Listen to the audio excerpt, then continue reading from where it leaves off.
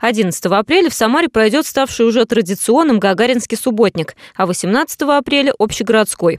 Однако ждать этих дат, чтобы навести порядок, не стоит, заметил на оперативном совещании в мэрии глава администрации Самары Олег Фурсов. Активную работу по очистке города необходимо проводить каждый день. На раскачку времени нет. Буду в ежедневном режиме контролировать ход этих работ. Прошу вас также этим заниматься. Город мы должны в очень короткий срок привести в порядок. И главы стараются, тоже проезжал, смотрел но нужно наращивать усилия.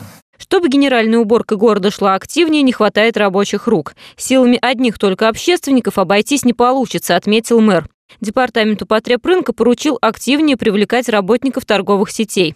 Трудовые коллективы крупных предприятий наводят чистоту на территориях, дополнительно закрепленных за ними. Особенностью этого месячника является то, что э, промышленным предприятиям, вузам, учреждениям передано на обслуживание дополнительные территории, дополнительные территории в соответствии с поручением губернатора. Благодаря сухой погоде стало возможным провести первый субботник еще в марте. Свой вклад в чистоту города уже внесли более 4 тысяч человек, а 1 апреля на уборку вышли уже больше 10 тысяч.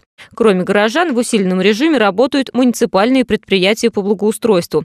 Но не стоит забывать, что чисто не там, где убирают, а там, где не мусорят. Марина Матвеевна, Павел Пресняков. События.